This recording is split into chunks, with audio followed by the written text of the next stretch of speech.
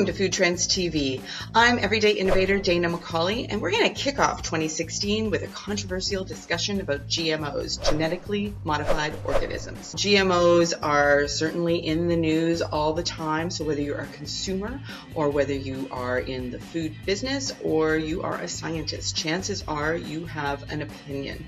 And in the consumer world, the opinion seems to fall down very heavily on GMOs are bad. In the science world, they fall down in the complete opposite side where GMOs are good. So, what is the bottom line? The non-GMO trend has gained tremendous momentum in the last couple of years. In 2012, 500 or so non-GMO food products were launched in the US, and by 2014 that number was closer to 2,000. I don't have numbers for 2015, but I can forecast for 2016 that we are going to see more and more signage and information in grocery stores about the GMO content of foods. And certainly this is a topic that's being debated uh, at the, every level of government as well. Should GMOs be mentioned on packages? Is this a transparency issue that consumers need to know about? Scientists would argue that no, we've been eating GMOs for 20 years and all they've accomplished is making more healthy food available to more people. This summer I was in Saskatchewan talking to farmers, uh, scientists, and the government about their pledge to feed the world.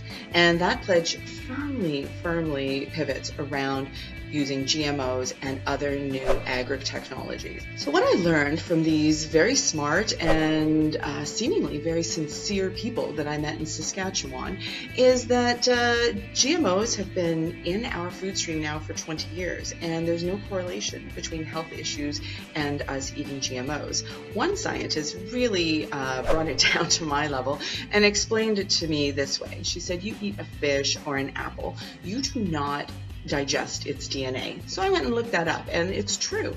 Our gastric juices in our stomachs break down any um, genetic material that is in the food we eat, and it doesn't become part of us. So the argument that GMOs are going to cause us to mutate in some way does seem to be uh, refuted based on that science.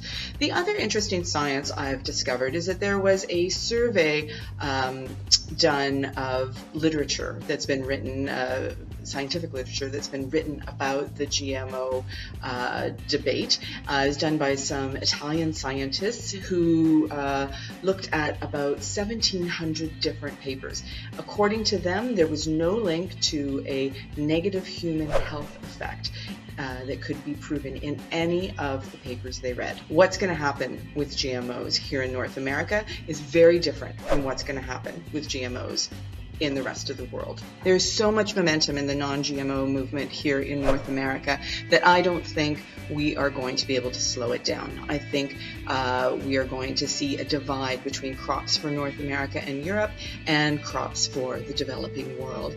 Uh, Saskatchewan certainly has decided that they want to feed the developing world, and they're going to do that by uh, increasing their yields and increasing their growing times and protecting uh, the health of their crops by using uh, bioscience, and that includes GMOs.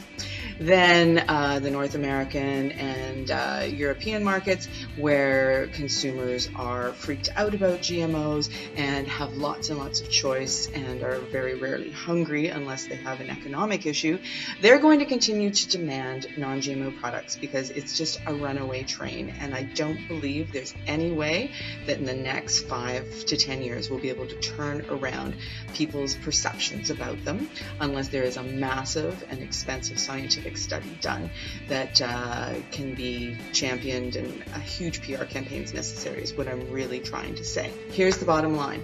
If you do business in the food business in North America or Europe, you're going to have to keep being concerned about finding a non-GMO supply chain. If you do work in uh, the developing world, non GMO is not going to be an issue. And in fact, you are going to find countries very comfortable with accepting uh, foods that have GMOs in them if they're a great price and good quality. So, what do you think? Have I lost my marbles? Have I been turned by the establishment into uh, an evil spokes puppet? I personally don't think so, but I know that some of you will be very shocked to hear me say that I think that GMOs are not so bad and that there's a lot of other things that we could be talking about and a lot of other products we could be developing that would have much bigger benefit on our health. So, tell me in the comment section below what you really think. I'm waiting, I'm ready, and let's have a big open discussion because I really think this is an important topic and that we should all uh, get our cards out on the table. Thanks very much. Have an awesome day and please subscribe so that we can continue the conversation on a regular basis.